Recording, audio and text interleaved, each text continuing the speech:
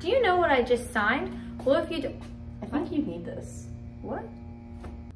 Wow, now I look professional. Thanks, Morgan, for the shirt.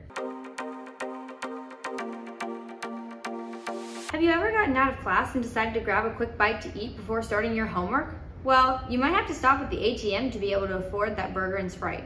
What do you think about that? I don't know, I think it could have some improvement.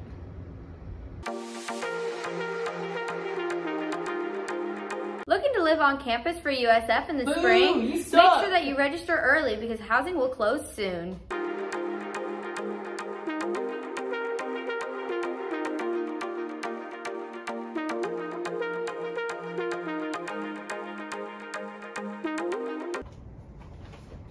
Emily, do you need some help? Uh, no? Your hands are kind of shaky there.